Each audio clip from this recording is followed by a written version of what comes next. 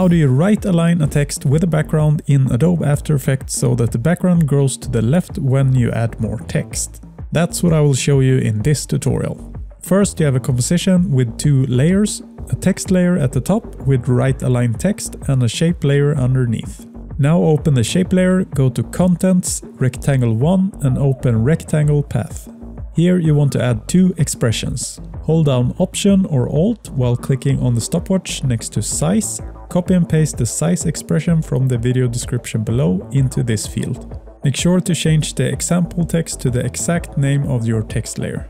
Now hold down Option or Alt again and click the stopwatch next to Position.